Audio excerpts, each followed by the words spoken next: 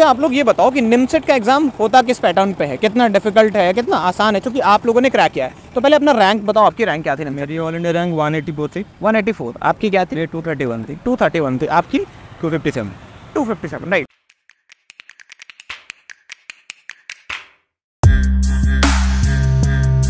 नमस्कार स्वागत है आपका कॉलेज रिव्यू अनफिल्टर्ड के एक नए एपिसोड में। मेरे पीछे आप जो बिल्डिंग देख रहे हो एनआईटी वारंगल। इंडिया में एनआईटीज की अगर बात करें तो पहला एनआईटी आज से ठीक चौसठ साल एग्जैक्टली नौ मही- नौ दिन पहले इस्टेब्लिश किया गया था इसको। पंडित जवाहरलाल नेहरू ने इस्टेब्लिश किया था। 10 अक्टूबर उन्नीस सौ उनसठ को इसकी स्थापना हुई थी और काफ़ी शानदार इतिहास रहा है इसकी स्थापना के बाद से।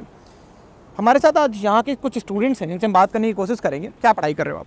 हम एमसीए डिपार्टमेंट से हैं। Okay C. एस डिपार्टमेंट से एम सी एम सी कर रहे हैं। आप? हम भी सेम एमसीए कर रहे हैं। फ़र्स्ट ईयर है नाम बता दीजिए अपना। सौरभ कुमार। आपका नाम? मेरा नाम है शुभम दास। ओके आपका नाम? सूरज किरण पंडा।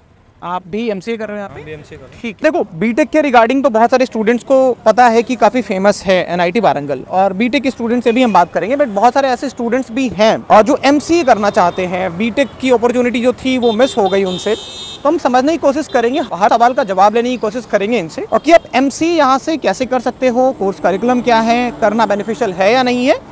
जो भी सवाल एक एस्पिरेंट के मन में होते हैं उस हर एक सवाल का जवाब हम कोशिश करेंगे इनसे समझे। सबसे पहले आप मुझे ये समझाओ कि यहाँ पे एमसीए में एडमिशन लेने का प्रोसेस क्या होता है? हाँ एक एक नेशनल लेवल का एग्ज़ाम होता है निमसेट करके। ओके जिसमें आपको आप थर्ड ईयर में या फिर आप ड्रॉपर हो तो आप वो दे सकते हैं एलिजिबल होते हैं आप। तो उसमें आपको अच्छी रैंक करनी पड़ती है लगभग ढाई सौ तीन सौ रैंक ऐसा इससे आपको ये टॉप प्रीमियर इंस्टीट्यूट मिलेगा एन आई एन वारंगल तो ये टॉप एन में आते हैं जो एमसीए कोर्स प्रोवाइड करते हैं बहुत पुराने टाइम से नाइन्टीज़ के टाइम से एमसीए कोर्स है। तो बस ये बहुत बढ़िया होता है। ठीक है। देखो, जब मैं किसी कॉलेज का रिव्यू करता हूँ तो सबसे बड़ा चैलेंज ये होता है, और जो इंडस्ट्री बताती है अभी, कि जो भी कोर्सेज हैं कंप्यूटर साइंस से रिलेटेड वो आउटडेट हो चुके हैं राइट अगर दूसरे कॉलेजेस की बात की जाए तो वहाँ का कोर्स करिकुलम उनका कहना है कि आप जो पढ़ा रहे हो, उसकी डिमांड ही नहीं है इंडस्ट्री में।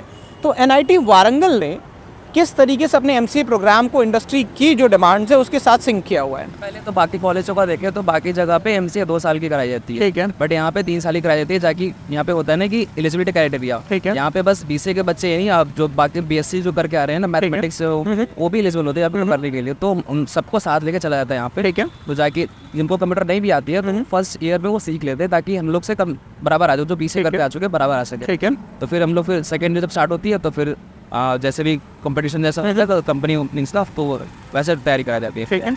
मतलब एम का जो करिकुलम था उसको पहले वो तीन सालों का ही था लेकिन उसको रिवाइज करके दो साल कर दिया गया। लेकिन यहाँ का जो एम करिकुलम है वो अभी भी तीन सालों का ही है राइट यस ओके यहाँ पे हाँ। यहाँ पे अभी अभी भी तीन साल का ही है बाकी यूनिवर्सिटी वगैरह में वहाँ पे तो अभी भी टू साल का ही है। और एन में अभी तीन साल का चल रहा है। हाँ हाँ और यहाँ पे जो प्लेसमेंट का क्राइटेरिया है वो भी बाकी कॉलेज से बहुत अच्छा निकला ओके एवरेज वगैरह मिनिमम वगैरह बाकी गले से बहुत अच्छा। ठीक है अब जरा सा मुझे आप लोग ये बताओ कि निमसेट का एग्ज़ाम होता किस पैटर्न पे है? कितना डिफ़िकल्ट है कितना आसान है? क्योंकि आप लोगों ने क्रैक किया है। तो पहले अपना रैंक बताओ आपकी रैंक क्या थी ना मेरी all India rank one eighty four थी। वन एटी फोर आपकी क्या थी? टू थर्टी वन थी। टू थर्टी वन थी। आपकी?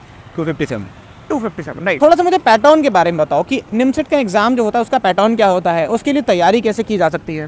बेसिकली निमसेट एग्ज़ाम एक ज़्यादा भी डिफ़िकल्ट नहीं है। जेई के लेवल में थोड़ा कम है। ठीक है। और बेसिकली ये एमसीक्यू होता है। हाँ हाँ। मैथमेटिक्स का फिफ्टी क्वेश्चन पूछा जाता है। ठीक है। सर कंप्यूटर का ट्वेंटी हो गया। पिछले बार दस था अभी ट्वेंटी हो गया। ठीक है। इंग्लिश का भी पाँच इंग्लिश का पाँच क्वेश्चन होता हाँ। हाँ है। ना इंग्लिश का दस होता है। ठीक है। और रीजन का फोर्टी ठीक है। लॉजिकल रीजन ठीक है। तो इसकी तैयारी आपने कैसे की थी? या अगर कोई स्टूडेंट इसके लिए प्रिपेयर करना चाहे तो किस क्या सही अप्रोच होगा इस एग्ज़ाम के लिए प्रिपेयर करने का? जैसे कि निमसेट जैसा डिफ़िकल्ट ऐसा एग्ज़ाम है नहीं लेकिन बहुत रिस्की वाला एग्ज़ाम है क्योंकि बहुत सीट्स बहुत कम है। ठीक है। तो जरा से दो तीन मार्क्स का फ़र्क फ़र्क करते हैं तो कॉलेज से वो निकल जाते हैं। फिर क्या होता है कि प्रिपरेशन करने के लिए आपको अगर छः महीना भी देते हो ना तो छः महीना एनफ होता है। ओके लेकिन फिर यही कि आप आपको उसी के लेवल का पढ़ना पड़ता है। जैसा प्रीवियस में क्वेश्चन पूछा था वैसा ही पढ़ना पड़े ज़्यादा डिफ़िकल्ट भी वो अप्रोच सही अप्रोच क्या है इसकी तैयारी के लिए? क्या कोचिंग इंस्टीट्यूट ज्वाइन करना इंपॉर्टेंट है या सेल्फ स्टडी से भी हो जाएगा क्लियर हाँ, जैसे मैंने सिर्फ़ ऑनलाइन टेस्ट सीरीज़ लिया था कोचिंग इंस्टीट्यूट ज्वाइन नहीं किया था सेल्फ स्टडी किया था। सिर्फ़ आपको टाइम मैनेजमेंट पे काम करना है और question P Y Q regularly hit करने हैं। बस आपको कंसिस्टेंट रहना है आपके शेड्यूल में। छः महीना ही रहना फिर क्रैक दिस एग्ज़ाम ठीक है। कंपटीशन थोड़ा कम रहता है लेकिन करना है। कंसिस्टेंसी चाहिए। ठीक है। कोर्स का करिकुलम मुझे जरा सा बताओ आपकी कोर्स करिकुलम किस तरीके से डिज़ाइन किया गया है इसका? कोर्स करिकुलम जैसे कि फ़र्स्ट सेमेस्टर आपको देखा जाए तो कोडिंग का वैसा आपको ज़्यादा दिखेगा नहीं ठीक आपको बेसिकली थोड़ा मैथमेटिक्स से थोड़ा इकोनॉमिक्स से थोड़ा सब कुछ लेकर चला जा रहा है फ़र्स्ट सेमेस्टर में। फिर सेकंड सेमेस्टर पर धीरे धीरे मतलब कि बढ़ा जाता ये चीज़ों को आगे ले जाए। पहले कोडिंग सिखा दी फिर उसके बाद फिर डेटा सेट वगैरह सिखा रहे हैं। ठीक है। फिर नेक्स्ट लेवल पे जाएँगे तो फिर आपको कंप्यूटर प्रोग्रामिंग वगैरह सिखाएँगे ताकि आपको इंटर्नशिप जो आती है वो आपकी हो सके लग सके। तो अभी फ़र्स्ट सेमेस्टर वैसा कुछ है नहीं वैसा। आज हम सेकंड सेमेस्टर देखा फ़र्स्ट सेमेस्टर में सबको एक पेज पे ले आने की कोशिश होगी राइट कि जो अगर डाइवर्स बैकग्राउंड से भी बच्चा आया हुआ है तो सबके एक बेसिक लेवल पे कॉन्सेप्ट क्लियर हो और सबको एक पेज पे ले आया जा सके राइट ठीक है अब मुझे ज़रा से ये समझाओ कि यहाँ पे जो पढ़ाने का अप्रोच है वो कैसा है? प्रैक्टिकल पे फोकस कितना है? थियोरेटिकल पोर्शन पे कितना फोकस है? जरा इसे इस पे बताओ मुझे आप। सब कुछ सही है मतलब थियोरेटिकल भी प्रोफेसर हमारे बहुत अच्छा पढ़ाते हैं। ओके और जैसे भी डाउट क्लियर भी बहुत अच्छे से करते हैं। और लैब वगैरह जो होता है वहाँ पे भी सब कुछ मतलब एकदम नेक्स्ट लेवल पर होता है। मतलब सारे अप टू डेट है बिल्कुल जो भी लैब्स वगैरह हैं सब कुछ बिल्कुल अपग्रेडेड लैब्स वगैरह असिस्टेंट रहते ही हमेशा दो तीन चार रहती है तो जो भी डाउट होता है टीचर नहीं करे तो असिस्टेंट हमारे हेल्प कर देते हैं कि ऐसे ये करना वो जो भी डाउट हो बता देते अच्छा इंटर्नशिप की अपॉर्चुनिटीज़ कब से मिलनी स्टार्ट हो जाती है एमसीए प्रोग्राम आपको फ़र्स्ट ईयर ख़त्म होने के बाद ड्राइव चलता है। ठीक है। इसमें आपको इंटर्नशिप वगैरह मिल सकते हैं। तो आपको अच्छे से प्रिपेयर प्रिपेयर करना पड़ता है डी से। ये तो एकदम मास्टर करना पड़ेगा। उसके लिए टॉप कंपनीज़ आते हैं। ज़्यादातर वो पॉइंटर पे फोकस करते हैं जो टॉप फाइव पॉइंटर्स होते हैं रैंक रैंक होल्डर्स होते हैं उनको ज़्यादा वो हायर करते हैं बड़े बड़े कंपनी से मतलब इंटर्नशिप के अपॉर्चुनिटीज़ हैं ऑफ़र है सब कुछ। हमको ग्रैब करना है। पहला क्राइटेरिया है ना कि आपको कोडिंग थोड़ी सी कम भी आ रही है तो हम पहले आपको देखेंगे कि आपका सीजीपी कितना बन रहा है। और सीजीपी आप, आपका अच्छा है तो फिर आपको फिर आगे आपका बोर्डिंग ओटी राउंड होगा फिर इंटरव्यू राउंड वो क्लियर करेंगे। मेनली आपका इस जो इंटर्नशिप है ना तो आपका सीजीपी अच्छा होना चाहिए। ओके तो फिर आपका फिर कोडिंग वगैरह देखा जाएगा फिर आपको अच्छा ओवरऑल फ़ी क्या है एमसीए प्रोग्राम की? कंप्लीट कोर्स की मैं बात करूँ तो अगर सौ फोर लैक्स फोर लाख के अराउंड अराउंड में complete five lakh four to five lakh rupees में कंप्लीट हो जाती है. विद हॉस्टल या without hostel with hostel with hostel है. अच्छा। तो आप लोग हॉस्टल में ही रहते हो अभी है ना? तो हॉस्टल लाइफ कैसी है यहाँ पे? हॉस्टल लाइफ तो बहुत अच्छी है। मतलब हॉस्टल हमारा बहुत अच्छा है। मतलब ऐसा कहीं देखा नहीं है नाइटी में। तो एशिया की सबसे बड़ी हॉस्टल हमारी है। अच्छा। एशियाज नंबर वन हॉस्टल है। अच्छा। लार्जेस्ट लार्जेस्ट हॉस्टल अच्छा। Capacity hostel one point eight K okay और कॉलेज लाइफ के बारे में थोड़ा सा बताओ मुझे आप फेस्ट वगैरह कैसे होते हैं? क्योंकि जहाँ तक मैंने रिसर्च किया काफ़ी वाइब्रेंट है कॉलेज लाइफ इसका। तो थोड़ा सा मुझे एक एक करके आप लोग डिटेल में कॉलेज लाइफ के बारे में बताओ। रिसर्च तो अभी हुआ नहीं हमारा। टेम्परेचर सभी नहीं हुआ है? अच्छी सब अच्छा है खाना पीना मेस वगैरह वहाँ पे सारे अच्छे हैं थोड़ा साउथ का रहता है अच्छा साउथ का फ्लेवर है थोड़ा लैंग्वेज का कोई बैरियर नहीं लैंग्वेज तो लैंग्वेज कोई बैरियर इंग्लिश आप कुछ ऐड करोगे कॉलेज लाइफ पे? कॉलेज लाइफ जैसे अभी तो हमारे आए एक महीना हुआ है तो अभी तो एक महीना कुछ हुआ नहीं। अच्छा एक ही महीने हुआ आप हाँ एक महीने हुआ तो अभी तो अभी एक तो कुछ डांस फेस्ट डांस फेस्ट हुआ था म्यूज़िक फेस्ट हुआ था तो वहाँ पे इन्वॉल्व हुए थे तो मज़ा आया। तो अभी वैसा कुछ देखे नहीं है फेस्ट बड़ा सा अभी हुआ नहीं है। अच्छा। तो अभी देख- देखते आगे क्या होता है यहाँ पे। ठीक है। रेगुलर सब कुछ होता है फ्रेशर्स का जैसे हुआ एक टूर्नामेंट हुआ या फिर कुछ ना कुछ न्यू होता रहता है यहाँ के तो एनुअल फेस्ट होते हैं टेक्नोजियन और स्प्रिंग स्प्री करके। टेक्नोजियन दिसंबर में आएगा तो उसमें हम भाग लेने का कोशिश करेंगे। ओके ठीक है अब मुझे थोड़ा सा ये बताओ आप कि अगर किसी को ये एग्ज़ाम कब होता है? सबसे पहले तो मुझे ये बताओ आप। एग्ज़ाम अप्रैल में हो अप्रैल में में हो जाता है। अभी अक्टूबर चल रहा है राइट तो अभी से अगर कोई सीरियसली प्रिपेयर करना स्टार्ट करे निमसेट के लिए तो क्या क्रैक कर पाना पॉसिबल है? हाँ पॉसिबल है। हमारी बैच का कोई जनवरी स्टार्ट किया कोई फरवरी से स्टार्ट किया ओके तो असिस्टेंट रहे अपना टेस्ट सीरीज़ दिए जैसे टीचर बताते वैसा करते हैं हो गया होगा। तो आप लोगों ने कोचिंग लिया था? आपने कोचिंग लिया मैंने था? टेस्ट सीरीज़ लिया था। आपने टेस्ट सीरीज़ ही लिया मैंने सितंबर अक्टूबर में टेस्ट सीरीज़ लिया था फिर ये था कि आप कॉलेज के साथ साथ मेरा वो था तो फिर कॉलेज में जाना था हमको टेस्ट भी कर देना था तो साथ साथ करते क्या हो गया फिर? मैंने प्रीवियस और टेस्ट सीरीज़ जो होता है अच्छा इसी पे ज़्यादा फोकस रखना था राइट आपकी रैंक काफ़ी अच्छी है तो आपने क्या कोचिंग इंस्टीट्यूट से प्रिपेयर किया था या आपने भी टेस्ट सीरीज़ लिया था? मैंने कोचिंग इंस्टीट्यूट ज्वाइन किया था ऑनलाइन कोर्स ज्वाइन किया था अच्छा। मैं ड्रॉप आउट हूँ। अच्छा ड्रॉप में है आप ओके किया था क्योंकि मेरा बैकग्राउंड वरना थोड़ा कंप्यूटर साइंस का नहीं है। किस चीज़ का वाला background है एससी फिजिक्स अच्छा बी फिजिक्स आपने किया था ठीक है। इसलिए मैथमेटिक्स मेरा थोड़ा स्ट्रांग होता है इसलिए मुझे लगा कि एक साल कोचिंग लगा तो अच्छा एन मिल जाएगा टीचर पर हो गया थोड़ा। एक साल में हो गया मैनेज हो गया। तो आपने डिसाइड कैसे किया? अभी आपने बीएससी फिजिक्स में अपना ग्रेजुएशन किया था तो कैसे आपने डिसाइड किया करियर स्विच करने का एमसीए करने का प्लान कैसे मैंने पहले से मेरा ट्वेल्थ लेवल से मेरा बहुत इच्छा था कि मैं इंजीनियरिंग कॉलेज ज्वाइन करूँ ठीक है। कंप्यूटर साइंस में पर थोड़ी सी प्रॉब्लम वजह से मैंने नहीं ज्वाइन कर पाया जेई में थोड़ा रैंक भी खराब आ गया था इसलिए मैंने बी कर लिया बी फिजिक्स में कर लिया। आपका फिजिक्स थोड़ी अच्छी थी मेरी इसलिए बी कर लिया। उसके बाद मुझे मेरे एक टीचर थे वो कंप्यूटर साइंस के थे पर वो फिजिक्स पढ़ाते हैं कोचिंग करते हैं। वो उन्हें उन्होंने बोला कि एम सी कर सकते हो एन में। वहाँ पे प्लेसमेंट भी बहुत अच्छी होती है। तो फिर मुझे अपॉर्चुनिटी मिला। मैंने फिर रिसर्च किया कि क्या इसका एंट्रेंस एग्ज़ाम क्या होता है कहाँ पे कोचिंग अच्छा है। अभी यहाँ आने से पहले आपने किसी तरीके की प्रिपरेशन की थी क्योंकि आप बता रहे हो कि कोई बैकग्राउंड नहीं था तो कंप्यूटर साइंस का कोई कोर्स किया आपने कोई ब्रिज कोर्स जैसा जिससे आप थोड़ा सा फेमिलियर हो पाओ। हाँ कोर्स मैंने किया था पी जी डी सी वगैरह किया अच्छा। एस टी एम एल वगैरह मैंने पढ़ा है। हाँ, हाँ। पर लैंग्वेज जैसे कि सी लैंग्वेज सी प्लस ये भी नहीं ये नहीं पढ़ा यहाँ पे नया है। अच्छा ये सब सब कुछ नया है।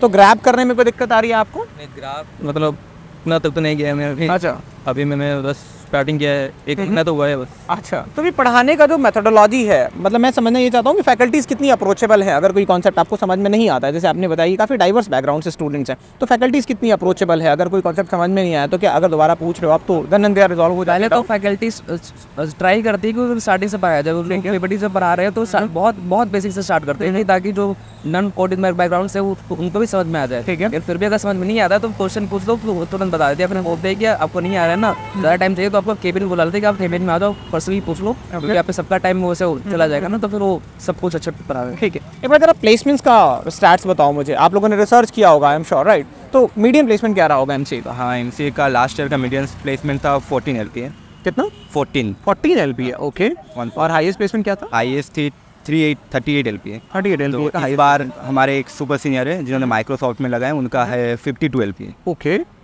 ठीक है। और सीनियर्स कितने अप्रोचेबल हैं आपके? आपने बताया कि सुपर सीनियर के आपने प्लेसमेंट बताया। तो सीनियर्स कितने अप्रोचेबल हैं यहाँ पे? सीनियर्स यहाँ पे बहुत हेल्प करते हैं हमारे। मतलब यहाँ आने के पहले ही ना सीनियर्स से पहले ही सब कुछ गाइड कर रहे थे कि अच्छा। ऐसे यहाँ करने हैं। हाँ, हाँ। आपको मतलब आप आ रहे हो तो आपको होटल के बता रहे थे कि आपको यहाँ होटल में रुक जाओ हॉस्टल अच्छा। में आपको एक दिन के लॉट हो जाएगा वो वो हो जाएगा। तो पढ़ाई के बारे में भी बात बात पे मीटिंग बुलाते रहते हैं कि आपको अगर एग्ज़ाम आ रहा है तो आपको कैसे प्रोसेस करना है प्रीवियस ईयर क्वेश्चन दे देते हैं पूरा गाइड कर देते हैं। अगर अभी तो उन लोगों ने डीएसए का कोर्स चला रखा है तो हमारे एक्स्ट्रा टाइम मिलता है हमारा लंच वंच के बाद तो हाँ। मतलब एक घंटा का कोर्स ले लेते हैं कि अच्छा तुम लोग को ये करना है ऐसे पढ़ाना है तो जो जो नॉन कोडिंग बैकग्राउंड से है भी ना तो वो भी अच्छे से समझ में आ जाता है। कितना हेल्प कर देते हैं बहुत अलग से कोर्सेज तक आप लोगों के लिए चला रहे हैं पढ़ा रहे हैं दो तीन सीनियर्स मिलकर वो पढ़ा रहे हैं।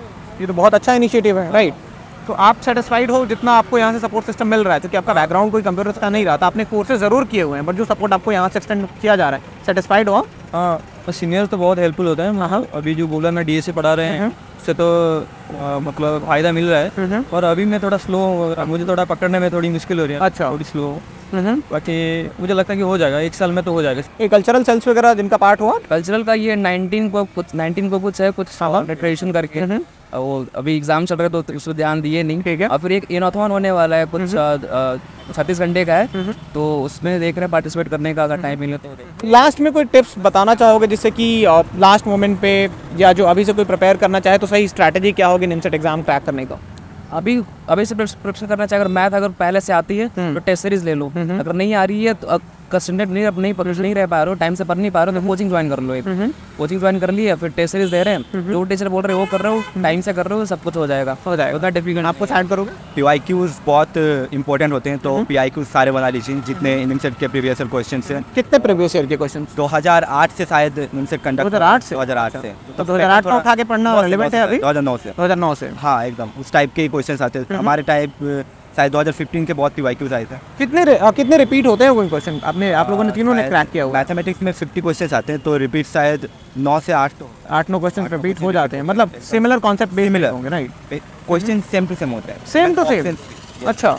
सेम टू सेम क्वेश्चन आ गए थे। अच्छा। हमारे यहाँ तो 10 क्वेश्चन एकदम प्रिंट हुए। अच्छा। बिल्कुल as it is as it is बस एक एग्ज़ाम का टाइम पैनिक ना कर जाए बस टाइम मैनेजमेंट आना चाहिए। हाँ, हाँ। बाकी लोग का सब कुछ सब कुछ क्वेश्चन आता है लेकिन ऐसा कोई डिफ़िकल्ट क्वेश्चन आ गया ना तो बच्चे उसे फंसे रह जाते हैं पंद्रह मिनट बीस मिनट उसी में टाइम दे दिए फिर बाकी क्वेश्चन आसान का छूट गया। तो टाइम मैनेजमेंट बहुत अच्छा आना चाहिए। उन कौन से क्वेश्चन करने कौन से क्वेश्चन छोड़ने ये बहुत अच्छे से आना चाहिए। आप लोगों ने नोट्स वगैरह बना रखे हैं अपने नेमसेट वाले? हाँ, बना रखे हैं। ठीक है मैं अपना कॉन्टैक्ट नंबर दे दूँगा आप लोग काफ़ी हेल्पफुल होगा अगर स्टूडेंट्स को आप शेयर कर पाओ तो। क्योंकि आप लोगों ने काफ़ी अच्छा रैंक भी अचीव किया और एनआईटी वारंगल में पढ़ रहे हो तो काफ़ी हेल्प हो जाएगी जो भी स्टूडेंट्स कंसिडर कर रहे हैं निमसेट को, ठीक है? आई होप निमसेट एग्ज़ाम से रिगार्डिंग जो भी डाउट होते हैं स्टूडेंट के मन में जनरली इन्होंने बताया एग्ज़ाम बहुत टफ नहीं है, अगर आप पीवाईक्यू से फोकस करते हो तो एग्ज़ाम डेफिनेटली क्लियर किया जा सकता है, और अभी जितना टाइम है इसमें भी आप आराम से क्लियर कर सकते हो। इसके बावजूद अगर आपके कोई डाउट्स होते हैं, कोई क्वेरीज हैं तो आप डेफिनेटली रीच आउट कर सकते हो। थैंक यू सो मच हमारे साथ बने रहने के लिए, आप लोगों का भी थैंक यू